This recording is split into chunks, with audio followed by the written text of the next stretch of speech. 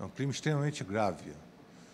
Duas pessoas que estavam fazendo exercício, conduzindo suas bicicletas corretamente pelo acostamento, com equipamentos, foram surpreendidos por um veículo atropelado no acostamento.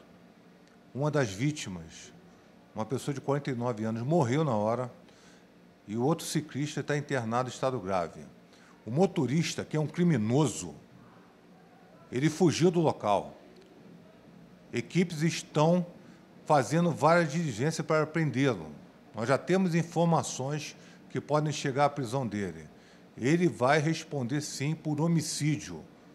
Entendeu? Nós, se nós tivermos condições junto ao judiciário de pedir a prisão dele, se o, o judiciário é, nos, nos apoiar nessa questão, nós vamos pedir a prisão desse criminoso. Então, isso tem que servir de exemplo. Isso aí é a pessoa que comete um ato, e isso ela tem que se apresentar e não fugir do local, sem prestar socorro. Se a pessoa, se a pessoa tivesse prestado socorro, de repente esse senhor de 49 anos estava vivo. Então, até a ambulância chegar no local, de repente ela podia ter sido salva. Então, é um crime extremamente grave que não vai ficar impune. Entendeu? Nós temos vários casos de acidente de veículos aqui. Entendeu? Quase toda semana nós temos vários casos de acidente de veículo.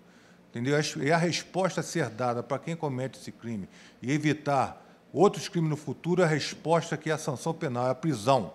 Só com a prisão dessas pessoas, nós vamos dar recado para outros que, se atropelarem e não prestarem socorro, vão ser presos.